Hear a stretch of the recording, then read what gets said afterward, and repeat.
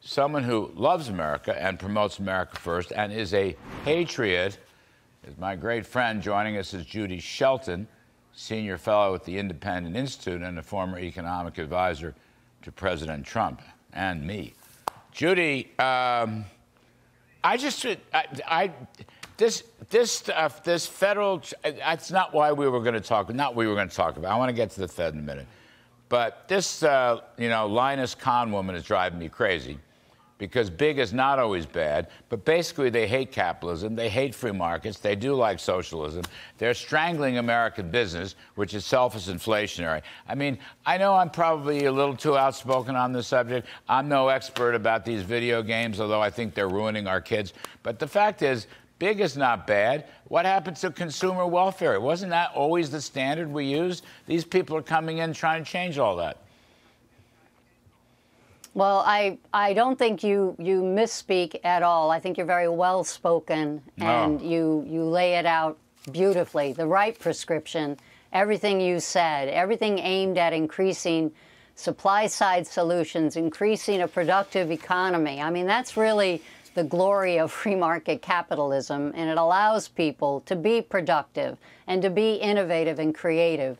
And I don't understand a government attitude that puts targets on the backs of, of big business and really punishes success. So I think your approach uh, is right from an economic point of view, but also in terms of political philosophy. And I think it's just better for the human spirit. Well, thank you, Judy. You know what? Your point, punishing success, I should have put that in to the riff. I, I often do because that's right. There's a difference between rewarding success and punishing success.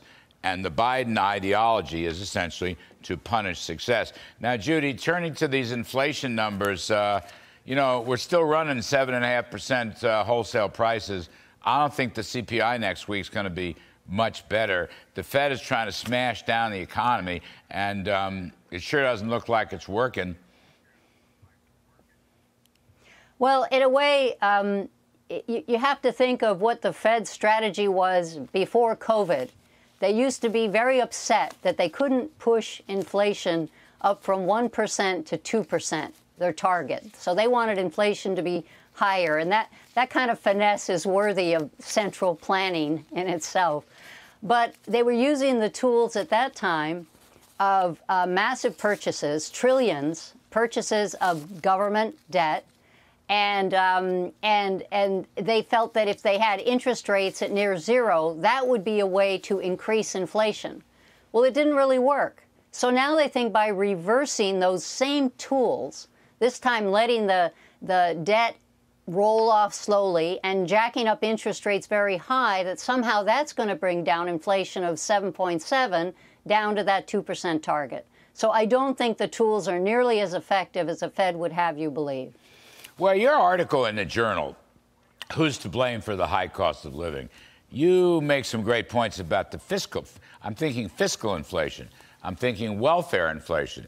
I'm thinking transfer payment inflation. And I'm thinking about transfer payments, right. which have ballooned, as you point out, and no workfare requirements, Judy Shelton. So the labor force is actually shrinking. Actually, the heart of the labor force, I've said this before, Nick Eberstadt of AEI uh, Bill Bennett drew attention to it on cultural matters. Um, what is it? Seven million people at least between 25 and 54, which is prime working age. That Not only are they unemployed, Judy, they're not even looking for work. Now, I would say that's inflationary. Well, there, there's a reason for that. Well, that, that new book by Senator Phil Gramm yes. really uh. looks at the impact of all the subsidies and, and the food stamps and the refundable tax credits and all of the fiscal transfer payments that have made it so that an American household can earn the equivalent of a $45,000 level of income, non taxable, by not working. So I really think the problem, and, and, here the Fed keeps looking at the labor market, but the federal government is competing against the private sector. When you set the bar at that level, then you are forcing the private sector to raise wages because a person very logically might say, why should I work mm. if I can live fairly comfortably? So I think it's, it's really Um, that's what worries me. Until we get that under control and we quit paying people not to work, um, I think the Fed's approach of trying to kill demand is, is just going to keep keep proving fruitless because the real answer goes back to the formula you laid out. We want to increase supply. And growth itself is not inflationary. It's a way you increase economic output. And high employment itself is not inflationary. It's how you get people to be productive. And, and, and they're increasing the size of the pie instead of concentrating in this redistributionist way on sort of a socializing of having the government collect national income and then send it back out the way the government would allocate it. I think we're a lot better off letting market price signals tell us what the cost of loanable funds should be.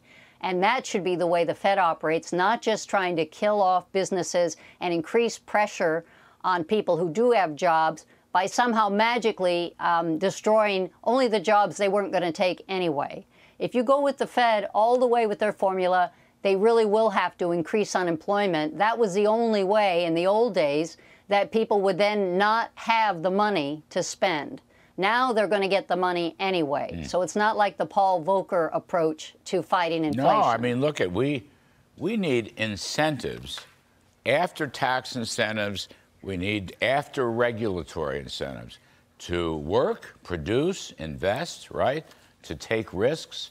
And as you said, we need to reward success, not punish it. The Fed shouldn't be there to destroy the economy in the name of fighting inflation. They should, that's not that's not what there's. The Fed should keep. You've said you've written this for 25, 35, 40. The Fed should just keep this, the currency value stable, okay, and then let the economy Unleash. The free market could do the rest. Yes, right. Yes, a stable monetary foundation would let it work. I'm pulling my hair out. I don't have much hair, but I'm pulling my hair out. and uh, and anyway, I, I think these uh, I don't know these these uh, games that these kids play is probably ruining them anyway. But uh, that's for another segment. Judy Shelton, Patriot, America First. You're terrific. Thanks ever so much.